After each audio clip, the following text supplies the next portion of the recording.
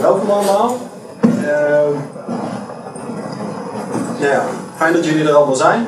Ik uh, ben er zelf helemaal klaar voor, ik hoop jullie ook. Ik ga een stukje over techniek doen, maar er zit ook wel wat, ja, dat op in van WordPress in. maak je geen zorgen, ik ben geen artificial intelligence of wat dan ook. ik sta hier gewoon en nou ja, als het goed staat het zweet op mijn voorhoofd, dus we kunnen gaan beginnen.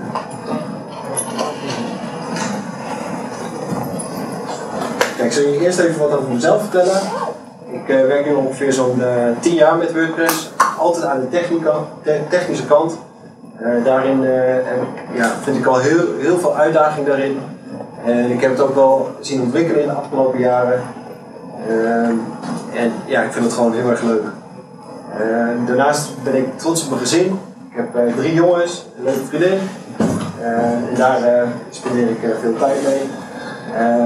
Ik heb mijn eigen bedrijf, dat heet Webatleten, vandaar ook Webatleet.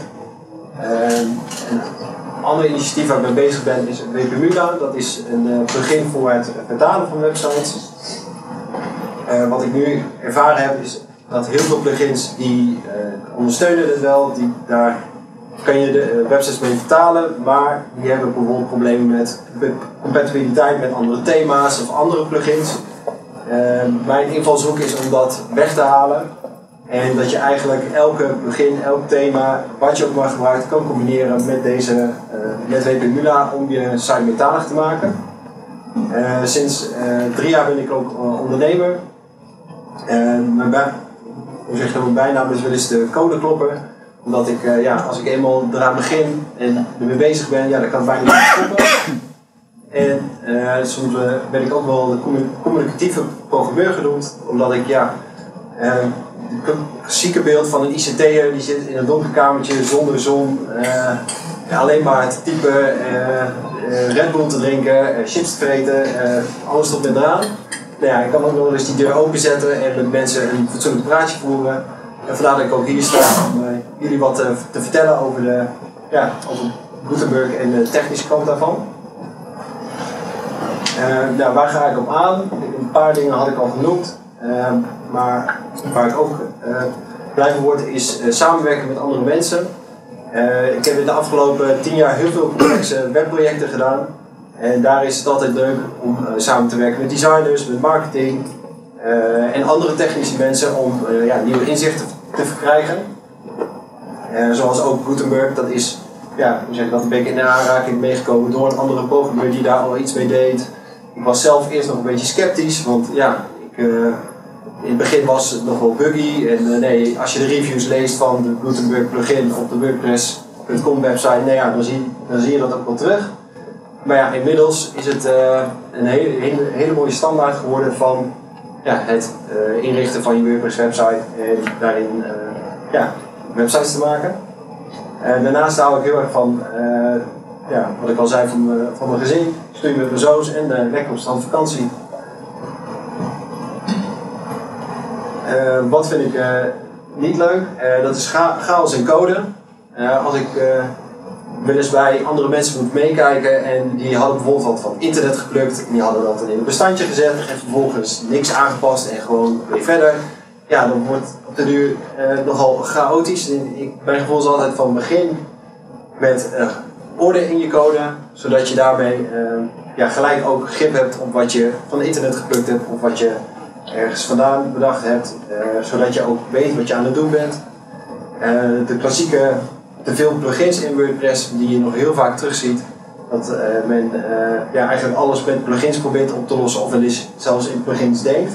Dus niet eens van oké, hoe kan ik dit zelf misschien technisch oplossen of is er een eenvoudige oplossing die altijd plugins, ja dat geeft nogal een risico performance problemen, uh, compatibility problemen, uh, update problemen. Uh, ja, een andere waar ik niet goed tegen kan is pleisterwerk. Dat is, ja, dat, als je pleisterwerk op pleisterwerk doet, door bijvoorbeeld custom CSS met importance te schrijven, dat soort dingen. Ja, dat gaat op den duur gaat dat je problemen geven. En daarnaast zijn trage projecten dus vervelend, waarbij bepaalde processen lang duren Zoals als je een website helemaal gebouwd hebt, opgeleverd hebt, en vervolgens moet de klant gaan vullen. nou ja, soms kun je dan maanden wachten voordat hij daadwerkelijk ook wat gedaan heeft. Of de content past eigenlijk helemaal niet bij het design en de site die origineel gemaakt is. Waardoor er allerlei ja, doorontwikkelingen komen. En, ja, en waardoor zo'n project heel lang gaat duren. In plaats van dat je binnen een paar maanden een hele toffe site hebt eh, neer, neergezet. Uh, en daarnaast hou ik niet zo van presenteren. Het is voor mij ook wel even een drempeltje om hier te staan. Maar uh, volgens mij gaat het wel goed komen. Uh, stap voor stap. Ik sleep je er wel doorheen. Ja. Ja, ik ben wel even benieuwd uh, wie jullie zijn en waar jullie mee werken. Dus nou ja, mensen die al met Gutenberg werken, graag even een vingertje in de lucht. Oké. Okay. En zijn er mensen die met Gutenberg en ACF werken? Oké. Okay. En ja, zijn er heel veel mensen die ook op basis van maatwerk uh, websites maken? Oké. Okay. En wie zijn de front-end back-end developers? Nou, jij bent het allemaal uh, volgens mij. Dat is mooi. Ja. Nou ja, waar ga ik het uh, vandaag over hebben? Eigenlijk heel simpel blokken bouwen met Gutenberg en in combinatie met ACF. Oh, dat was iets, iets snel, sorry. ik ga eerst eventjes wat vertellen over de uh, ja, over Gutenberg zelf, over ACF een klein stukje, dan hoe je de blok registreert, hoe je dat dan opbouwt, hoe je de vormgeving eraan kan koppelen, hoe je vervolgens een blok plaatst via de editor. En dan hebben we nog wat tips en tricks en tijd voor vragen. deze presentatie zelf is ook gebouwd met Gutenberg en ACF. dus deze, de presentatie zelf is ook eigenlijk het voorbeeld wat ik gebruik in ja, in, in, het, uh, in de presentatie. Zodat je ook gelijk een beeld hebt van wat is er mee mogelijk.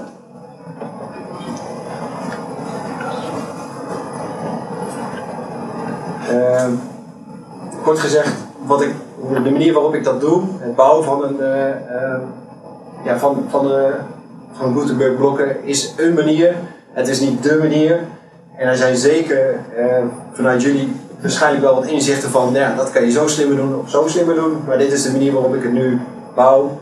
En ik sta er natuurlijk altijd voor open om uh, ja, achteraf misschien te horen wat ik beter kan doen of anders kan doen. Uh, daarnaast is deze presentatie ook wel een beetje een korte handleiding van hoe je, ehm, eh, de, hoe je het kan gaan opbouwen. Dus aan het eind van de presentatie komt er ook een QR-code in het scherm. Die kan je scannen en vervolgens ga je gewoon naar de presentatie toe. En kan je hem ja, thuis nog eens even rustig of straks nog even rustig terugkijken. Uh, dan even over ehm, het Gutenberg zelf. Ehm, wat ik er zelf natuurlijk heel fijn aan vind, is dat je in plaats van dat je in de ouderwetse WordPress manier had je gewoon alleen een editor. En had je een heel groot verschil tussen wat, wat je aan de frontend en aan de backend zag. Ja, dat hebben ze met Gutenberg natuurlijk heel goed gelijk kunnen trekken. Dat je aan de backend heel veel, ja, eigenlijk 99% van je frontend weergave hebt. Waardoor het ook gelijk herkenbaar is wat je aan het doen bent. Als beheerder en als gebruiker. Ehm, er zijn heel veel herbruikbare elementen in. Uh, je kan er snel mee ontwikkelen, omdat de, het raamwerk staat eigenlijk al. WordPress biedt het al helemaal aan. En je hoeft er alleen maar op in te haken op jouw manier. En daarnaast is het ook toekomstbestendig, omdat ja, Gutenberg is de toekomst van WordPress. En ACF, ja, die plugin bestaat al heel lang, wordt al heel veel gebruikt. En haken ook al heel veel dingen op in. En daardoor krijg je een beetje het gevoel van, ja, van vrijheid eigenlijk, zoals ik dat ervaar. Uh, je hebt nu ook al heel veel veelzijdige blokken. Als je bijvoorbeeld uh, Elementor als voorbeeld neemt, ja, daar zijn ook alweer uh, heel veel plugins voor waar, eh, waarmee je extra blokken binnen Elementor krijgt. Ja, inmiddels is dat voor Gutenberg ook. Je kan heel veel standaard elementen al downloaden waarmee je ook al pre-builds kan laten lanceren, waarmee je binnen een paar klikken een eigen, ja, je website eigenlijk al hebt staan, een voorbeeld ervan, en kan je dat aanpassen. Uh, qua beheer is het eigenlijk heel eenvoudig, omdat je, ja, je kan dingen verslepen, je kan inhoud hergebruiken. Ehm, het is echt een ja, blokjes bouwen.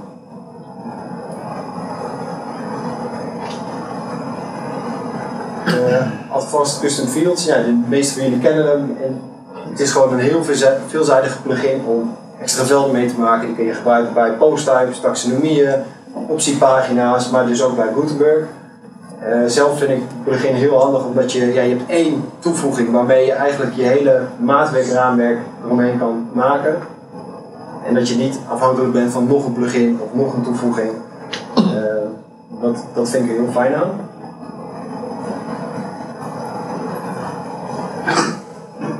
Het is een uh, krachtige combinatie. En omdat het in de basis heel eenvoudig met elkaar te koppelen is, je hebt uh, geen extra dingen nodig. Uh, Gutenberg en, uh, of ACF ondersteunt Gutenberg built-in. er zijn ook al heel veel voorbeelden online van hoe je dat dan opbouwt. Ehm, en het is gewoon heel toekomstbestendig. Ja, voelde voor mij als liefde op het eerste gezicht toen ik er eenmaal mee aan de slag ging. De drempel was er wel in het begin, maar toen ik er eenmaal mee aan de slag ging, dacht ik van ja, ik wil niet anders meer dan op deze manier een uh, website bouwen. Nou, wat heb je nodig als je een maatwerkblok gaat bouwen? Ja, in de basis HTML, uh, PP, HTML en CSS-kennis. Uh, nou ja, als je nog wat leuke uh, dingen wilt toevoegen, zoals bijvoorbeeld een slider, ja, dan is JavaScript-kennis ook wel handig. Maar om ja, wat basis-layouts te bouwen, zou je met PP, HTML en CSS uit kunnen. Je hebt een maatwerkthema nodig, een stijlsheet daarbij, vaak ook nog een JavaScript-bestand waarin je JavaScript ja, afhandeling maakt. Eh, zelf kies ik ook om SAS te gebruiken voor eh, eh, CSS, omdat ja, op die manier, ik weet niet of mensen SAS kennen, maar dat is eigenlijk meer een, ja, een gestructureerde manier van het schrijven van je CSS. In plaats van dat je tien keer iets moet herhalen, heb je één wrapper waarbinnen je ja, eigenlijk je structuur kan bouwen. Je moet het een beetje zien als dat je je SAS matcht met je HTML, zodat je ja, daarmee heel gestructureerd je plugin of je, je vormgeving kan opbouwen. Daarnaast heb je allerlei mix-in, mix-ins in, in SAS, waarmee je ja, bijvoorbeeld bepaalde animaties, eh, hoef je maar één keer te programmeren, kan je in meerdere sites hergebruiken. Um, en het komt alleen terug in je uiteindelijke CSS-bestand op het moment dat je het ook echt gebruikt. Dus je kan wel duizenden mix-ins hebben, uh, maar die zie je alleen terug als je ze gebruikt. Uh, de, en je hebt natuurlijk de ACF-plugin nodig. Dit is een uh, basisopbouw van uh, een thema zoals ik, zoals ik dat zelf doe.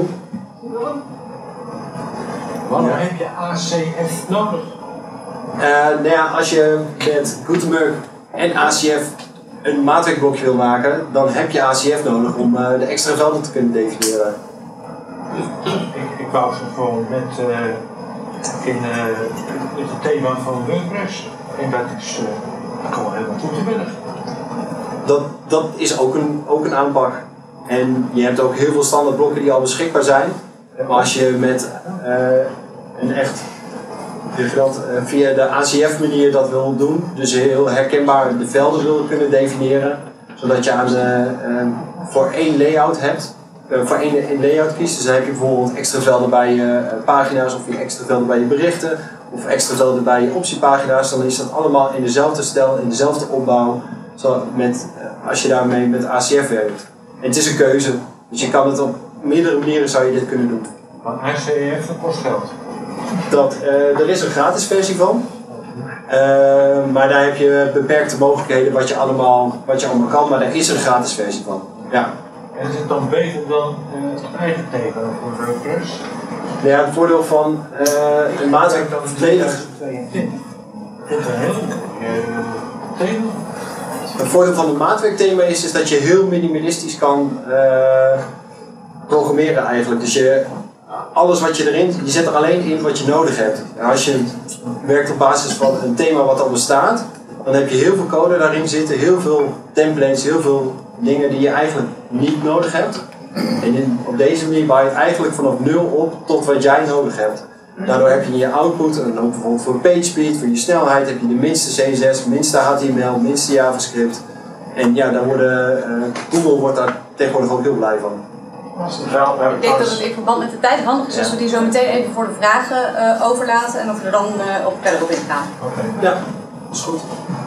Ja, dit is een voorbeeld van een thema zoals ik me opbouw, waarbij uh, ja, heel veel mensen die bijvoorbeeld een assets map waarin ze dingen neerzetten. Ik heb dan nog aparte graphics, scripts en styles.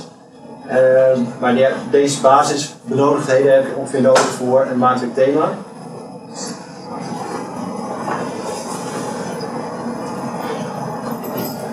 Dan beginnen we even met het registreren van de blok.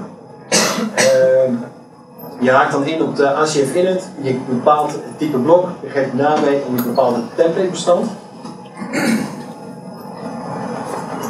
Dat is eigenlijk niks meer dan dit. Als je kiest voor de meest basic uh, opbouw van zo'n blokje, dan kan je, uh, ja, geef je dus de, de mee, de naam, de titel en je geeft uiteindelijk je, uh, het templatebestandje op waar het op uitkomt. Als je dit stapje hebt gedaan, dan komt wordt dit blokje beschikbaar aan de beheerkant van ACF. Dus als je dan inlogt bij WordPress, dan kan je daarbij.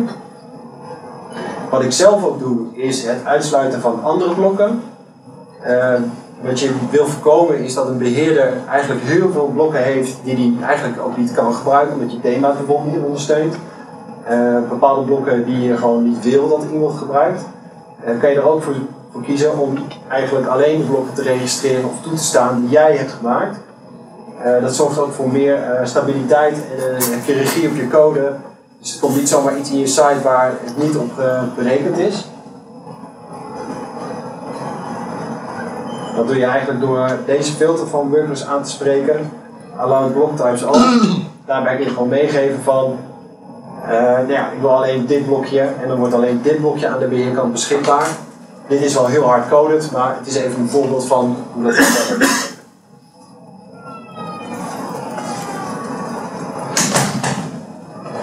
Vervolgens ga je een uh, veldgroep aanmaken via beheer van WordPress. Dat kan op de, ja, de standaard manier van ACF. Gaat gewoon naar veldgroepen, veldgroep toevoegen. Uh, ja, dat is niet heel bijzonder. En de belangrijkste stap is dat je bij uh, het registreren van het veld bij locaties, locatieregels het uh, blok kiest. En dat ziet er dan als volgt uit. Op dit moment zijn dus de velden die je in deze groep gaat registreren, zijn beschikbaar voor dit blok. Het voordeel hiervan ook is, stel je hebt een vast element van ACF in een bepaalde template, dan zou je daar ook nog voor kunnen registreren dus dan heb je maar één definitie van een groep velden die je op meerdere plekken kan teruggebruiken of kan terug laten komen. Maar in dit geval heb ik ervoor gekozen dat uh, het alleen voor mijn presentatie is.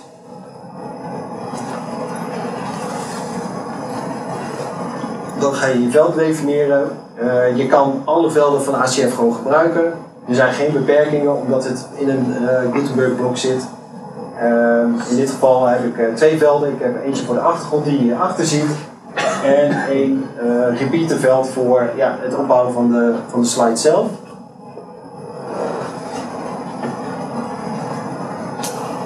Uh, zoals je hier ook kan zien, een flexibel blok en een afbeeldingblok.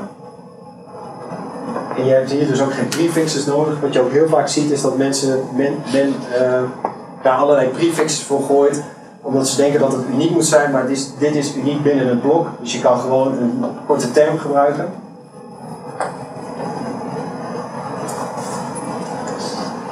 Dan uh, maak je het uh, templatebestand aan. Nou, in dit geval had ik het pad gekozen van partials, Gutenberg en presentation.php.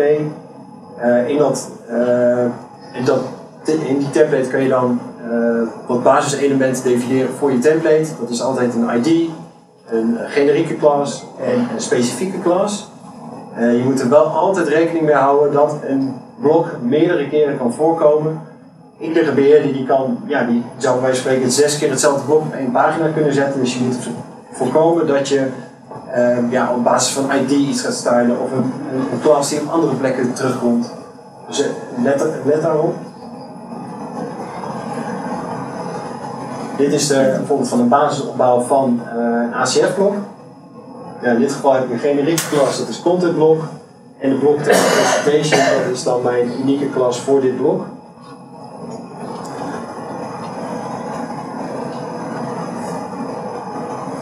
En nu komt een klein trucje die je kan toepassen zodat je vormgeving die je schrijft voor je voorkant ook kan toepassen op je backend. En dat is de teamrep. Die zie je hier ook heel duidelijk. Je hebt je body gaat open, dan heb je bijvoorbeeld een wrapper. En dan geef je de team wrap class aan mee. Als je al je vormgeving die jij uh, toepast op je uh, website binnen deze team wrap plaatst, kan je ervoor zorgen dat alles daarbinnen jouw vormgeving krijgt, maar de rest heeft er geen last van. Um, het voordeel daarvan is, is dat je hem zowel op je voorkant van je website kan inladen, die de stelsheet voor je website, maar ook aan de achterkant. En dan alle vormgeving aan de achterkant werkt dan ook. Maar beïnvloedt de rest van WordPress niet. Uh, dit is bijvoorbeeld het, uh, het dat ik gebruik op het moment dat het aan de beheerkant is. Dan plaats ik om elk blokje de teamwrap heen. Op die manier kan je uh, dus ervoor zorgen dat je aan je voorkant in je template heb je gewoon één keer die teamwrap gedefinieerd. Die is gewoon op het hoogste niveau van het thema. En daarbinnen kan je dan je vormgeving eh, meegeven. En aan de beheerkant heb je gewoon één keer dat diffje nodig eromheen, zodat dat blokje wat jij hebt gemaakt ook die vormgeving, vormgeving krijgt.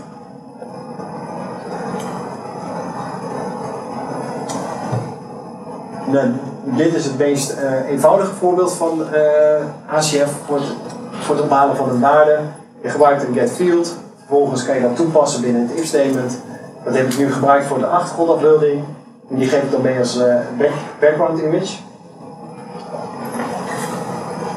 Als volgt, en daar zit dan een klein stukje CSS bij vanaf, de, achter, de stelsheet, waarmee ik de achtergrond op de volledige grootte plaats. Dus een absolute width en height 100%, zodat hij de hele, het hele scherm pakt. En de achtergrond komt uh, in midden te staan via de center center en de koffer.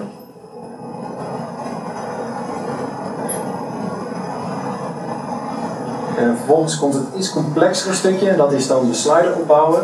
Daar komt wat meer bij kijken, want je hebt uh, niet alleen uh, HTML, CSS en PHP nodig, maar ook een stukje JavaScript. In dit voorbeeld heb ik gekozen voor Swiper.js. En Swiper.js is een uh, universeel toepasbare uh, JavaScript slider waarbij je allerlei effects kan meegeven. Je kan bolletjes in de onderkant zetten, je kan buttons aan de zijkant zetten waarmee je kan navigeren, swipen. Het is heel, heel erg compleet en heel goed ondersteund op alle devices. En zelf gebruik ik ook zoveel mogelijk Flexbox om nou, elementen bijvoorbeeld in het midden uit te lijnen of van elkaar uit te lijnen. Uh, ik weet niet of heel veel mensen daar mee werken, waarschijnlijk wel. Maar als je nog niet doet, mijn tip, doe het wel. Want uh, het scheelt in een hoop moeite. Je kan ook uh, bijvoorbeeld heel makkelijk een button en een stukje tekst ehm, goed op elkaar uitlijnen. Wat je in het verleden vaak had, is je hebt bijvoorbeeld een stukje een tekstregel en daarnaast een button. Maar die button die heeft een hele andere height of positie van de tekst ja, door bij Flexbox, Flexbox Align Item Centers mee te geven, lijnt hij dat perfect met elkaar uit. Geen marges die die boel verplaatsen of wat dan ook. Uh, dat dat uh, is universeel heel goed uh, toepasbaar. Ja, wat ik al zei, ik heb twee type sliders, slides. Ik heb eentje, dat is eigenlijk deze. Dus een stukje titel, tekst en een afbeelding. En ik heb er eentje waarbij de afbeelding het volledige scherm vult.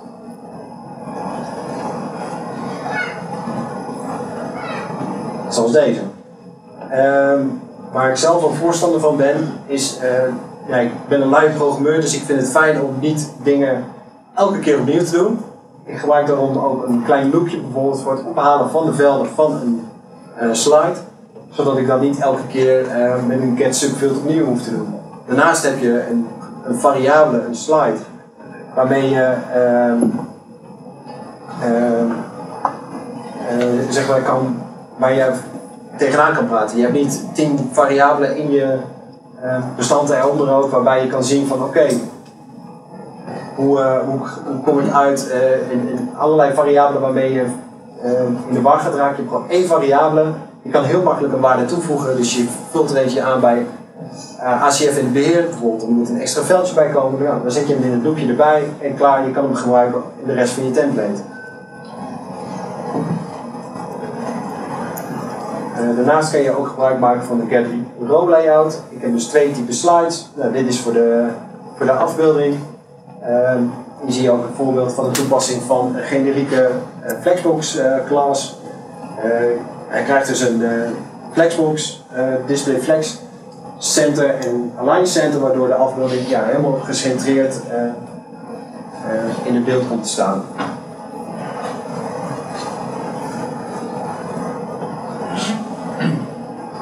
dit is van de gewone slide, die is wat complexer.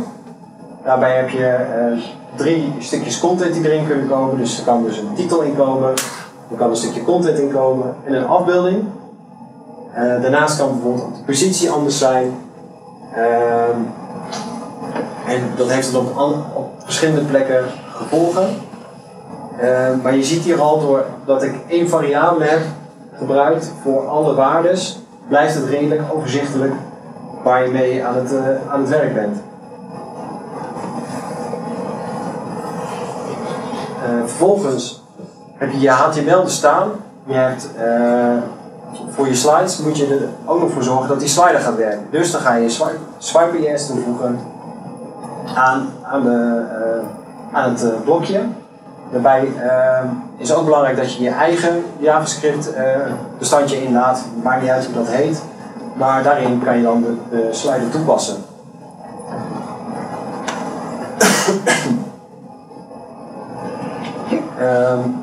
Zo laat je dit is een voorbeeld van hoe je dan netjes een, uh, een, een scriptje inqueued via de WordPress manier.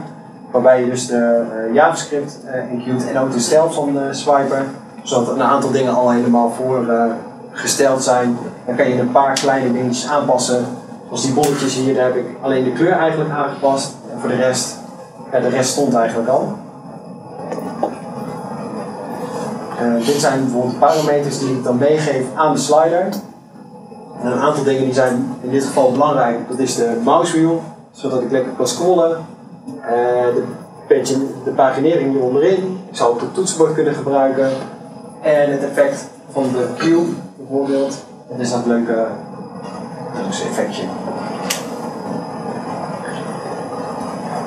Uh, nog even terugkomend op dat stukje teamwrap. Hier rechts zie je een klein voorbeeldje van hoe je dat dan kan toepassen in SAS. Um, die zet je dus op het hoogste niveau. En vervolgens alles wat daar binnen valt, wordt, krijgt als output die teamwrap eromheen. Um, en op deze manier bouw ik dus altijd de vormgeving op voor een um, slide. Dit is een uh, voorbeeld van de standaard slide. Ik uh, wil dat hij alle ruimte inneemt en een witte achtergrond heeft. Dit is de afbeeldingsslide, dus eigenlijk deze. Die wil ik fixen in het, een fixe positie aan alle ruimte innemen, een klein beetje ruimte eromheen. En dezelfde achtergrond als de afbeeldingen.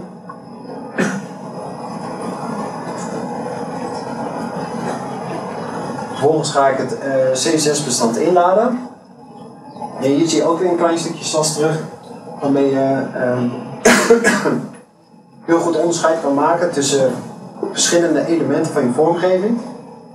Dus je hebt een header, uh, CSS, een headerbestandje, een bestandje voor je footer, een stukje content, algemene content, een general waar je bijvoorbeeld dingen definieert als voor je buttons, en dan heb ik een uh, Gutenberg bestandje waar ik dus voor elk blokje de vormgeving heb staan. Het voordeel hiervan is, je hebt allemaal losse bestandjes. Je hebt allemaal overzichtelijke elementen. Maar um, SAS maakt er één eindbestandje van. En dat is gewoon je stijlsheet van je thema.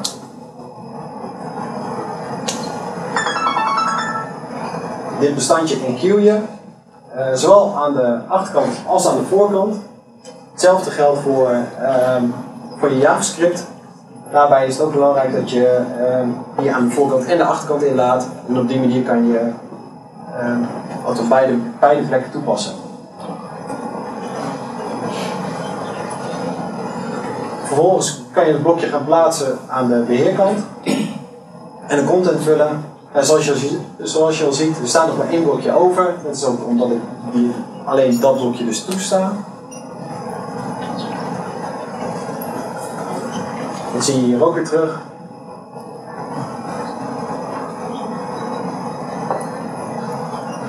dit is een voorbeeld van hoe je de achtergrondafbeelding instelt. Die komt aan de rechterkant komt beschikbaar. En dan kan je dan een afbeelding kiezen, gewoon uit de mediabibliotheek. Dat wordt vervolgens als zo weergegeven, dus je hebt ook wel een previewtje erbij. Oh. Uiteindelijk zie je hier ook het goed, goed het resultaat. Op het moment dat je dus die achtergrond instelt, heb je aan de linkerkant ook al gelijk het voorbeeld, terug van je vormgeving. En dat vind ik dus ook zo fijn aan Gutenberg. Op het moment dat je dus elementen gaat wijzigen in je, uh, qua content, en je genereert aan de linkerkant gelijk je, opnieuw de output. En via slimme JavaScript hooks kan je bijvoorbeeld ook je swipe JS elke keer weer toepassen. Dus op het moment dat je je slide aanpast, genereert hij opnieuw die HTML, opnieuw past hij die JavaScript toe en kan je hem weer uh, werkend maken. Uh, dit is een voorbeeld van uh, de slideshoek die, dan, dan kan vullen. Dan heb je dan de optie van weergave, afbeelding rechts-links, de titel en de inhoud die je erbij zet.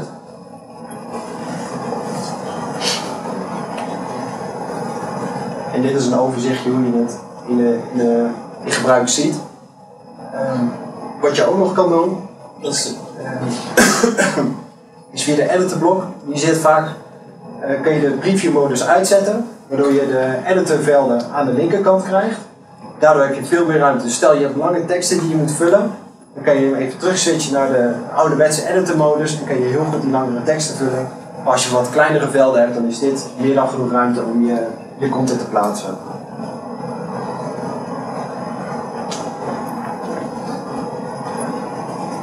Nou, nu heb je een uh, globaal idee gekregen van hoe je eh, ACF-blokken kan opbouwen via Gutenberg. Je weet hoe je het moet registreren, hoe je hem uh, qua HTML moet opbouwen, de vormgeving die je erbij moet plaatsen en hoe je hem ook daadwerkelijk via WordPress kan plaatsen en wat voor mogelijkheden daarin zijn.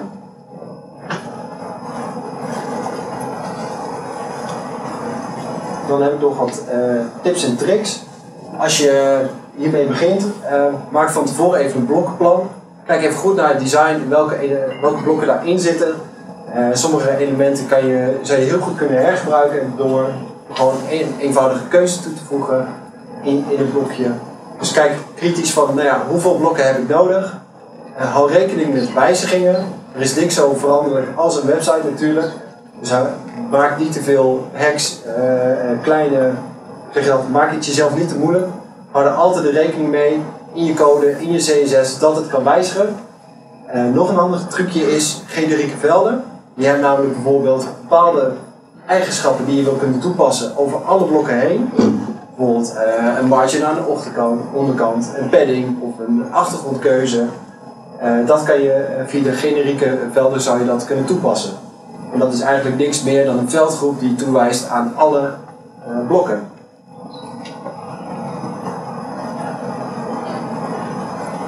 Ja, wat ik al zei, zorg voor schone code. Zorg dat het uitbreidbaar is. Match je HTML met je SAS, zodat het overzichtelijk blijft. blijft. Uh, nou, mijn advies is gebruik Flexbox. Uh, denk daar over je naamgeving in je code. Dus dat je niet de ene keer uh, camel case bijvoorbeeld iets doet en dan vervolgens met streepjes. Probeer daar consistent in te zijn.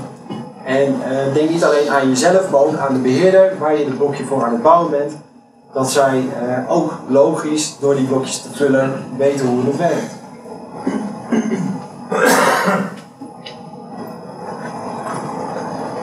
en voor uh, mensen die bijvoorbeeld Yoast SEO gebruiken in hun website als SEO plugin, er is al een mooi plugin beschikbaar die dus de content van je ACF heel goed kan analyseren met alle elementen erin die is gewoon gratis te downloaden. Dus die zou ik uh, uh, adviseren van als je met Joost werkt en met Gutenberg, zet die erbij zodat je, ja, je, je marketeer die in je website aan het werk is ook de juiste feedback krijgt.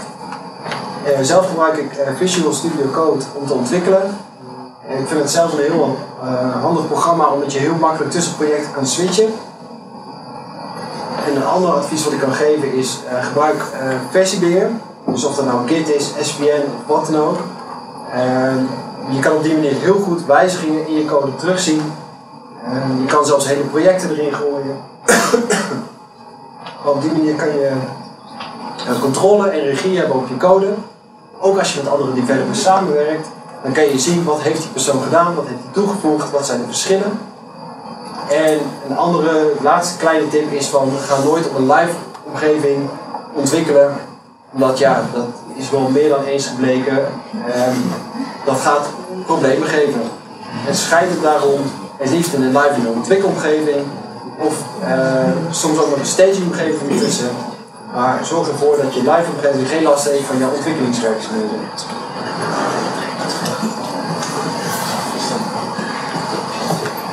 Uh, je hebt eigenlijk wat handige bronnen die je kan raadplegen. Uh, een linkje naar ACF Vlogs, de ACF Repeater, uh, SAS, waar je van alles kan lezen over hoe dat werkt. Als je daar nog niet mee werkt, je werkt op een platte C6, dan mijn tip, ga het eens bekijken. Het gaat je een hoop tijd en type schelen. Um, kijk ook eens naar SwipeJS. Er zijn heel veel verschillende uh, slider plugins beschikbaar. Uh, maar uh, SwipeJS is uit mijn ervaring echt de beste in de laatste jaren die ik ben tegengekomen. Omdat hij dus zo universeel pasbaar is. nee, de ACF Content Analysis plugin voor Yoast Visual Studio Code en WordPress Actions. Ja, deze valt er dan net af. Maar dat zijn filters.